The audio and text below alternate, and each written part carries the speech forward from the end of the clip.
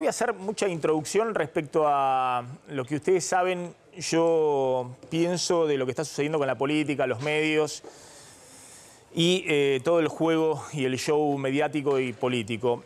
Solo voy a decir lo que dijimos eh, el año pasado y ratificamos en este inicio de programa. No soy ni militante ni predicador del show mediático. ¿Eh?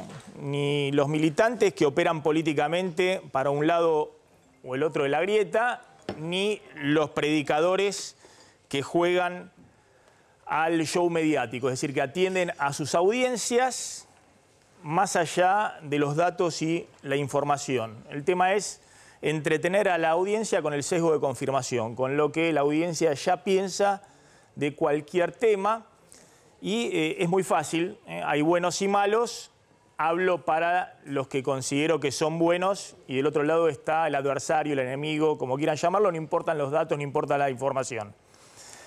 Este es un programa que hemos hecho siempre basado fundamentalmente en los datos y la información. No sé si a esta altura hay espacio para este tipo de programa en los medios de comunicación.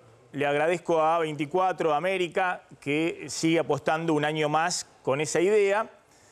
Pero esa es eh, mi convicción, es mi pensamiento y es lo que pienso del periodismo. Y también es lo que pienso de la grieta y de los militantes de un lado y del otro de la grieta y sobre todo de esta nueva especie que son los predicadores. ¿eh? Les va muy bien asegurándose alimentar a su audiencia con las creencias y las certezas que su audiencia tiene no importa los datos. Algunos porque lo falsean exprofeso, otros porque son ignorantes y no saben ni siquiera leer un dato. ¿eh? O recabar la información o poder analizarla. Yo soy periodista, soy economista y lo que vamos a hacer en este programa es lo de siempre. Brindar información, análisis, en algunos casos opinión, pero siempre fundamentada en los datos, en la realidad. También quiero en este arranque decir algo respecto al juego de la política. Es muy impresionante cómo juegan a la grieta en la política en el inicio del año electoral y cómo la realidad los pasa por encima. Vuela la inflación, la Argentina tiene en este momento toda una discusión si se dispara o no aún más eh, el dólar y detrás de eso se espiraliza la inflación. Seguimos en ese escenario de tensión permanente. Ahora van a ver los datos. Y además avanzan la inseguridad, el narcotráfico. Un ratito vamos a hablar de lo que está sucediendo en Rosario. Y en ese contexto la única preocupación es la definición de la interna dentro del oficialismo o de la oposición. Están pensando en cómo quedan unos y otros posicionados en los próximos meses Primero porque tiene una cuestión de financiamiento, de guita, cualquiera que es candidato la levanta con pala, de los empresarios, de los propios eh, organismos del Estado, ya sea a nivel nacional, en la provincia de Buenos Aires, en la ciudad de Buenos Aires, en las gobernaciones.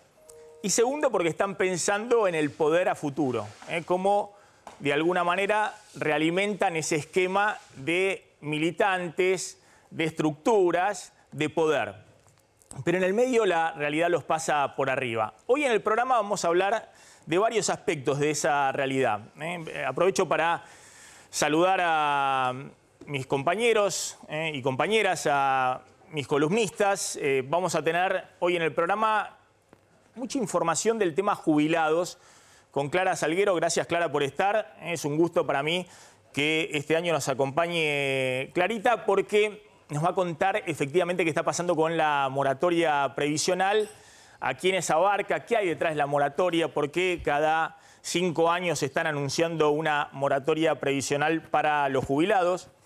Se incorpora Javier Calvo. Gracias, Javi, por acompañarnos. ¿eh? Eh, verdaderamente es un gusto para mí tenerte en el programa como columnista político.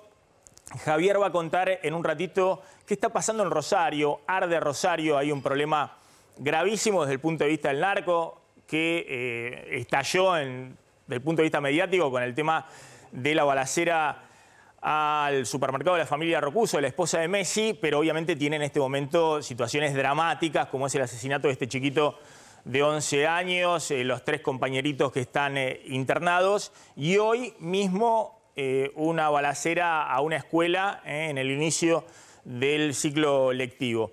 Vamos a estar en un ratito con Claudio Slotnik contando cómo la inflación de marzo empezó peor que en febrero, que ya fue un mes muy malo. ¿eh? De hecho, febrero fue peor que enero. Es decir, venimos con una inflación que se está acelerando, no desacelerando. Y en un ratito vamos a contar con Carlos González Prieto, también eh, qué está pasando con la sequía y el impacto que la sequía está teniendo. Atención, que cambia todo el escenario económico de este año, eh, un impacto mucho mayor al que se esperaba de la sequía y el impacto por la falta de dólares, por la caída del PBI y obviamente también de la recaudación, vamos a un escenario muy pero muy complejo.